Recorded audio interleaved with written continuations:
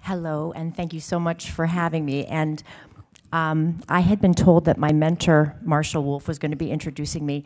So I just wanted to say something special to Marshall, um, who is going to be receiving an award later today.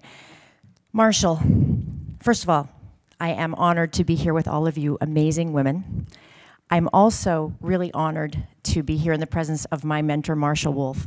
Um, it is really quite something to be standing at some point on a podium with somebody who uh, has formed and been a big part of my leadership um, and my career. Um, Marshall, about 20 years ago, as my residency director, actually, I had been out for a few years, you said something to me that changed my life. Um, all of my former co-residents at the time, I had been, I was a few years out and into my fellowship, uh, were doing what seemed like amazing research, making, uh, getting grants, NIH grants, advancing their careers, and I was pregnant with my third child. I was working night shifts. I was spending what felt like most of my time either breastfeeding or eating macaroni off of my kids' plates. And then I saw you at um, some Brigham celebration, and um, I was mortified. You were my mentor. I always wanted to make you proud and I avoided you. But at some point during that event, I found myself confiding this self doubt to you. And you looked at me and you said, you could take, you know, five or even 10 years off and you could still do amazing things. So go and be a mom right now. And I want to thank you for that. thank you. As always, you were you were wise, you were supportive, and you were inspiring.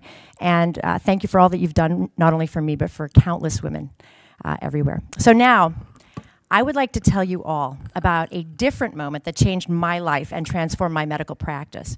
I'm going to take you back. Oh, I need, there we go. I'm going to take you back to the year 2003. I was a new ICU doctor at a trauma center in inner city Newark, New Jersey. It was level one trauma, it was a lot of action, and I was in the middle of it, and I loved it. I had a patient in bed five of the ICU, and she had metastatic breast cancer, and she was really sick. Her kidneys had started to fail, she was very, very acidotic. And the team asked me to insert a Quinton catheter into her neck so that they could do dialysis. Made sense. She was hyperkalemic. She was very acidotic. So I talked to the husband. I explained the procedure. I explained what, what it would do for her.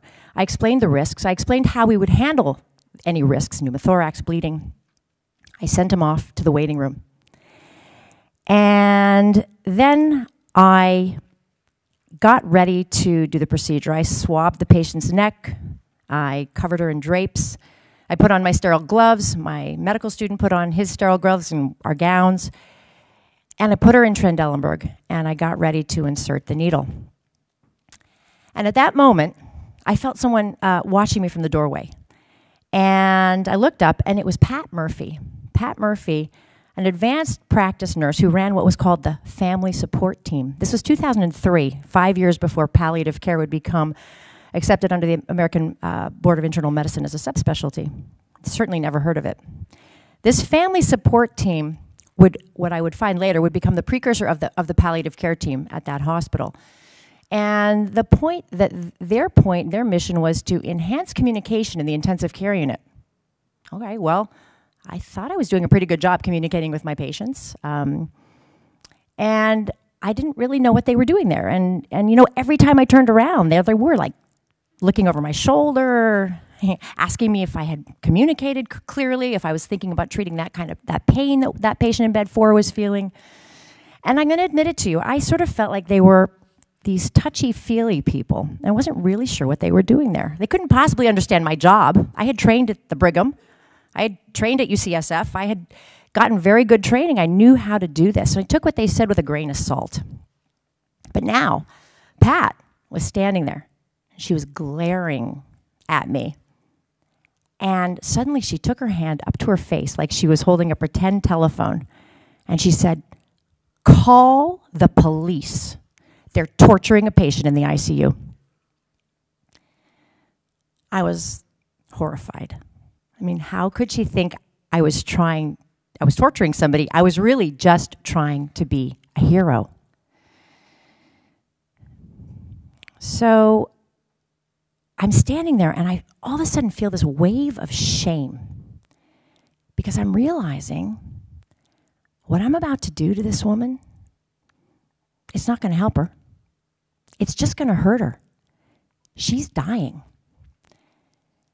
But the machine, the dialysis machine, had been brought next to the room and it was waiting. They had put us up to the top of the list. They were all waiting anxiously for me to get that catheter in so they could immediately start that dialysis. And the husband was in the waiting room thinking I was going to do something to help his wife. And my medical student was next to me, eager to see this procedure, which he needed to learn how to do. And I'm going to tell you right now, I'm ashamed to say it, but I did put that catheter in. And as you can imagine, it didn't change that patient's life at all, but it changed mine. Within a few days, Pat, who had been my nemesis, became my mentor and my friend. And she introduced me to this relatively unknown field of palliative care medicine. And she showed me that this prolong life at all costs mentality that I had absorbed, that I had been a part of, was actually, while it, of course, works for some, was causing a tremendous amount of suffering in many of my patients, particularly those with life limiting illness, terminally ill, the frail, the dying. And yet, we use it indiscriminately by default. Pat's words continue to guide me and to inspire me. And I often say that I learned some of my most valuable lessons about being a doctor from a nurse. I saw Pat recently at actually last year at the American Academy of Hospice and Palliative Medicine and I signed my book for her. I don't know if you can read the inscription, but it says, "Dear Pat, do you still want to call the police on me?" So I'm here to advocate for a new model of heroism. But to understand the new model, we really need to quickly take a look at the old one. The fantasy of immortality is almost as old as humanity itself. Anyone here know about the ancient Greek myth of Eos and Tithonus? Any hands? Well, Eos was the goddess of the dawn, and Tithonus was her human lover. And Eos went to Zeus's chambers and she said, Zeus, can you please grant Tithonus eternal life? And to her great surprise, Tithonus said, I mean, Zeus said, Yeah, okay. She was thrilled. But as she was walking out of the chamber, she realized her dreadful mistake. And she had asked for eternal life, but what she really had wanted to ask for was eternal youth. And you can imagine how this story goes. Eos spent eternity caring for Tithonus as his mind deteriorated and his body became frail. We want to live forever. We want to find that magic pill, that miracle cure. You know, this morning I was watching TV, and within a span of about seven minutes between two CNN segments, I saw, and I'm not kidding, four pharmaceutical induced or Cancer Center Treatment of America induced um, commercials that talked about curing the incurable or some such. I mean, look at the popularity of shows like ER or Grey's Anatomy. Why do we love them? Because every week we get to witness at least one miracle of modern medicine. We are watching doctors pull rabbits out of their scrubs. I mean, who wouldn't want a doctor like that? Who wouldn't want to be a doctor like that? The world of modern medicine allows physicians to act out this fantasy. We rush in like we're firefighters, grab and rescue any form of life from the flames. Keep that heart beating. I mean, when it works, it's miraculous. It is the most amazing experience to rescue someone from the jaws of death and send them home to their family. But far too often, Patients who are truly, truly approaching the ends of their lives are also getting swept up into this life saving fervor, and the result is devastating. I call it the end of life conveyor belt. It's the automatic, unquestioning application of increasingly powerful tools and technology that take over for the patient's organs as they begin to fail one by one. You know, you've got a ventilator when the heart when the lungs are failing. You've got hemodialysis when the kidneys start to go. You've got defibrillation, uh, CPR, when the heart starts acting up, and you've got pressors when the blood pressure starts to flag. The body's sort of becoming encased in life support as it passes through the stages of dying. And the last stop is really not pretty. Long term acute care, ventilator facilities. Patients there lie in beds, often with their arms tied down, with tubes in every orifice. You know, my husband, when I was writing this book, said to me, Have you ever been to a ventilator facility? And in all my years of practicing critical care, I have to admit I had never been until about a year ago when I went. And it really was what I sort of had expected it to be. We don't really know what it looks like. We don't want to know what it looks like as we send patients over there. We don't want to tell our patients what it looks like. It's too painful to tell them of the repeated trips back and forth to the intensive care unit for septic shock from decubitus ulcers and the types of infections that are expected when bodies lie immobilized with tubes entering them. Has anybody here heard the term chronic critical illness? Any hands? Couple? You're going to hear that term a lot more. I believe that it was coined in 2015. That was the first time I saw it. And it really describes patients who are so debilitated as to require full time care in institutions, most of them on machines to keep their bodies alive. And, you know, in 2015, as I told you, there was when I first heard about this term, a study that was done uh, in critical care medicine showed 3 million consecutive ICU admissions and looked at what percentage of those ended up with chronic, chronic critical illness, and it was 8%, which is 250,000 in this one study. And as our elderly population grows, as our baby boomers start reaching the age of, of, of 65, which started in 2011, we're going to see a real skyrocketing in this number, in this prevalence of this condition. And so we are caught in the middle of a perfect storm. We've got this unattainable fantasy of perpetual life, and we've got the technology to chase it. And that is leading to immeasurable suffering. Did you know? I'm sure many of you have heard this statistic that 80% of people say that they would want to die at home. Well, unfortunately, in most of the country except for Oregon, only half of that number actually are dying at home. And that 40% is actually an overestimate. It's kind of misleading, and I'll tell you why. An increasing number of those 40% are arriving home very, very late in the game, within a day or maybe two of their deaths. Joan Teno, the healthcare researcher, calls this a burdensome transition, and that is rising rapidly, that percentage of people. 60% of patients are dying in hospitals, nursing homes, and other healthcare facilities. 28.5% of Americans are spending days in the ICU right before they die. And that number is also rising.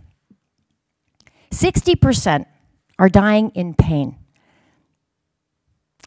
That's not the way I want to die. And most healthcare providers that I know agree. Now, some of my colleagues have threatened to get a do not resuscitate order on their chest. And then a few years ago, I was at this conference at UCSF called Mindfulness in the ICU. There were very few doctors there, unfortunately, but there were a lot of nurses and a lot of other healthcare professionals. And I heard this ICU nurse say, No one's touching me. I've got a tattoo. And I looked at her skeptically, and she showed me this. I don't know if you can see it, but it says, No code. so she did it. You know, most healthcare providers are not going to go, oh, I've got five minutes that far, but apparently many feel the same way. So, in this 2013 Stanford study, over 88% of over 1,000 physicians surveyed said that if they were terminally ill, they would want to be considered do not resuscitate. And patients, when they're asked, feel the exact same way. More than half of people said that being dependent on a breathing machine was a fate that they would consider worse than death. Worse than death. to be living on a breathing machine. But we're not asking for their opinions. Instead, we're just too busy following our protocols automatically and efficiently, like a conveyor belt. So, sisters, here we are wanting to change the world. Now, what can we do differently going forward? Well, here's some ideas. First, let's expand our definition of success. I used to believe that it could only mean fighting disease and winning. But you can't cure dying. And trying to cure it, as I've shown you, can cause profound suffering. If that's what the patient wants, I'm all in. But over the course of my career, I have found that almost no one wants that when you really describe to them what it entails. And the data show the same thing. Treating people like widgets on a conveyor belt might be efficient, but it's inhumane. Second, we must be honest. There is a huge elephant in these hospital rooms. Doctors and patients are in completely different realities. There's some data that I'm going to show you that shocked me about patients who are on the verge of receiving tracheostomies for prolonged dependence on ventilators. Looking at their loved ones, the people who are making decisions, their surrogates, and the doctors, and what they thought was going to be the situation for that patient in one year. As you can see, the loved ones, 93% of them thought that the patient would still be alive. 71% thought they'd be living independently. And 83% thought that they would have a good quality of life. But the doctors thought very differently. Look at the discrepancy. It's chilling. Doctors, we've got to tell our patients the truth. Our patients are going to follow us into these losing battles if we lead them there. They can't plan for a good death if they don't know they're dying. Now, breaking bad news is really hard. It takes skill, it takes practice. And I'm a palliative care doctor now for the past 10 years, and it's still hard for me. Who doesn't want to just be the hope doctor, the it's going to be okay doctor? But we've got to figure out how to do it. We've got to do better. I want to tell you a very quick story about a colleague of mine. I was in the ICU, I was watching him round with a bunch of residents, medical students, fellows, and they were talking about a 38 year old who was dying. They had pulled out all stops, and this guy was still dying. And my friend said to the team, I think we've got to think about a change. And the team was silent. No one said a word. And I felt this uh, discomfort, having been in that position myself, of like, oh my gosh, I'm, I'm, I'm the bad doctor, I'm the weak doctor, I'm talking about giving up. He took out a piece of paper from his binder, he ripped it up into eight pieces and passed it around. He said, okay, everyone, you know the drill. Zero to 10. Zero means there's no chance he's getting out of the ICU. 10 means he's going home. What do you think everyone thought? Zeros and ones. If we can't talk about this stuff, if it's such a stigma to talk about someone not getting better, we're never going to stop putting people on the end of life conveyor belt. So, sorry, that, that was his ballot box. The final thing that we can do, which I think is appropriate for this audience, is to talk about pulling together the best teams possible to care for our seriously ill patients. This hierarchical structure that we've been using, where the doctor's driving at all the decision making and everyone else is just coming along for the ride, including the patient, is not working. In my experience, it's the nurse who usually knows the patient best, and social workers and chaplains, and the patient have a lot of information that will be very useful to making decisions. We have got to be pulling a full team, a full toolbox into these decisions instead of just using a hammer. If we stick to this hierarchical approach, we are just going to be continuing to put people back on the end of life conveyor belt. Many of you are going to be doctors on these teams going forward. We are collaborators, we women. Let's figure out how to bring a collaborative spirit into the care of these seriously ill patients. These three steps that I just outlined will go a long way towards creating a healthier medical ecosystem for all of us, not just the patients and the families, but also for the healthcare providers who care for them. And this new system, this new heroism, will allow more people to live as they choose, right up until the very end. So I've shared some harsh realities, but I've also given you some ways forward. We have a lot of work to do, and it's hard work. We're up against an infrastructure that doesn't support healthcare providers to provide patient centered care, and we're living in a culture that doesn't want to talk about it. But the truth is, we've got to do something, and I need to stop. Thank you.